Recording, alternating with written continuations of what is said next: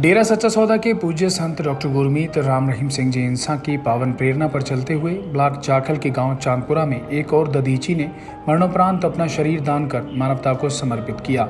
यह गाँव के अंदर बारवां शरीर दान है। परमपिता शाह सतनाम सिंह जी के समय से डेरा सच्चा सौदा के श्रद्धालु रहे प्रेमी छोटादास इंसा अपनी सांसारिक यात्रा पूर्ण कर मालिक के चरणों में सचखंड जा विराजे। प्रेमी छोटा दास इंसान का शरीर दान करने से पहले गाँव में उनकी अंतिम शव यात्रा निकाली गई। शव यात्रा के दौरान जहाँ प्रेमी के रिश्तेदार, सगे संबंधी मौजूद रहे, वहीं सैकड़ों डेरा प्रेमियों ने शव यात्रा की अगुवाई करते हुए प्रेमी छोटा दास अमर रहे के नारे लगाए। गाँव चांदपुरा निवासी प्रेमी छोटा दास इंसा की इच्छा अनुसार उनकी, उनके पुत्र निक्का दास इंसा ने देहदान के लिए ब्लॉक जाखल के जिम्मेवारों सहित गाँव के भंगीदास, जस्सी इंसा रामचंद्र इंसा बाबा इंसा इत्यादि को अपने पिता की अंतिम इच्छा के बारे में बताया, जिसके पश्चात प्रेमी छोटा दास इंसा के मृतक देह को उत्तर प्रदेश के जिला बरेली में पड़ते Shri Ram Murti Smarak institute of medical science हेतु रिसर्च के लिए दान कर रवाना किया गया।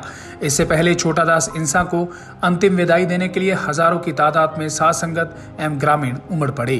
प्रेमी छोटा दास इंसा के पार्थिव शरीर को फूलों व गुब्बारों से सजी एंबुलेंस में रखकर पहले गाँव की विभिन्न गलियों में एक एक शोभा यात्रा निकाली गई, जो गाँव के नाम चर्चा घर में जाकर समाप्त हुई। इसके बाद समस्त रिश्तेदारों व सास संगत ने नारा लगाकर उन्हें अंतिम विदाई दी।